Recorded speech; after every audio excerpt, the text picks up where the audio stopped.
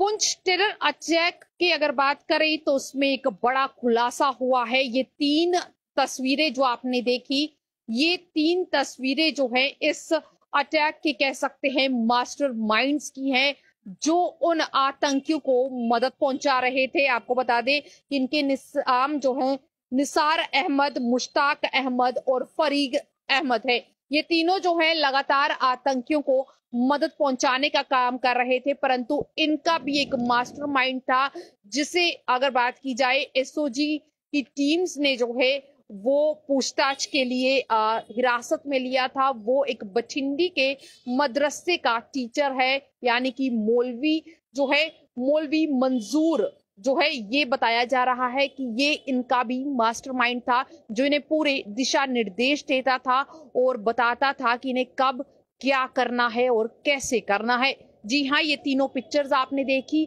और ये तीनों जो है मास्टरमाइंड का बताए जा रही हैं। पुंछ टेरर अटैक के जो कि अटैक हुआ और जिसमें तस्वीरें दिल दहलाने वाली सामने आई और हमारे भारत की पाँच सपूतों की शहादत हुई। आपको बता दें कि इसमें अगर बात करें तो मौलवी से पूछताछ में कई बड़े खुलासे हुए हैं और इन खुलासों में जो है उसने ये साफ़ बताया है कि वो लगातार जो है पाकिस्तान के संपर्क में था। पाकिस्तान से जो है वहाँ पर बैठे जो उसके आका हैं, वो उसे दिशा निर्देश दे रहे थे और वो आगे इन दिशा निर्देशों को पहुँचाने का सारा काम कर रहा था। तो कई बड़े खुलासे जो है, और होने की उम्मीद जो है, वो जताई जा रही है, माना जा रहा है कि मौलवी का जो फ़ोन है, मोबाइल फ़ोन है, उसे जब्त कर लिया गया है और अब शायद ये फ़ोन जो है, जब इसकी जाँच होगी तो कई और बड़े खुलासे जो है, वो हो सकती है। फॉरेंसिक लैब में इसकी जाँच जो है, वो करने के लिए फ़ोन को भेज दिया गया है और साथ ही साथ अगर बात की जाए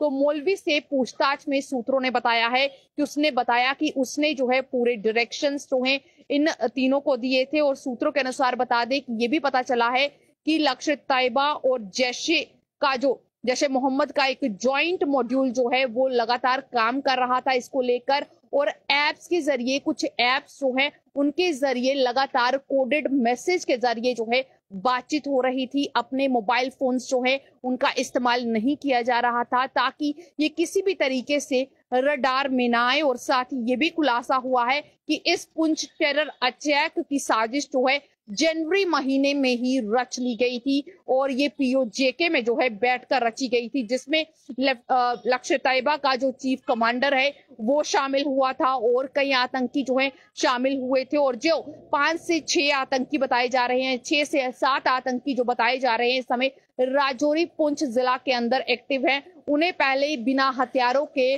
सीमा पार भेजा गया था, उन्हें यहाँ पर घुसपैठ करवाई गई और उसके बाद ड्रोन की मदद से जो है हथियारों को यहाँ फेंका गया था, जिसे निसार अहमद के परिवार ने जो है इकट्ठा किया था। निसार अहमद का जो परिवार था, उसने इन आतंकियों तक वो हथियार जो है पहुँचाए थे और फिर काफ़ी रेकी करने के बाद ये आतंकी निसार अहमद और बाकी जो तस्वीरें आपने देखी, वो लगातार जो है इलाके की रेकी करते रहे, इलाके में छानबीन करते रहे और फिर पूरा प्लान जो है वो तैयार किया गया कि कब, कैसे और कहाँ करना है। साफ़ तौर पर अगर बात करें तो इसमें साफ़ माना जा रहा है कि ओजीडब्ल्यू का एक बड़ा नेटवर्क जो है, वो काम कर रहा था। वो लगातार जो है दिशा निर्देश पर जो है कार्रवाई कर रहा था। इन आतंकियों को जो है मदद पहुँचाने का काम कर रहा था। लॉजिस्टिक्स जो है, वो पहुँचाए जा रहे थे और कहीं ना कहीं ये भी साफ़ हुआ है कि डांगरी हमले की साजिश भी जो है, इन्हीं के द्वारा रची गई थी। अब बात की जाए तो ये एक बड़ी खुलासा जो है, पुंछ टेरर अटैक में सामने आ रहा है, जिसमें ये साफ़ हो गया है कि इसके तार जो हैं जम्मू तक जुड़े हुए नज़र आ रहे हैं। जम्मू के बछिंडी इलाके की अगर बात करें तो यहाँ के एक मदरसे में पढ़ाने वाला मौलवी जो है,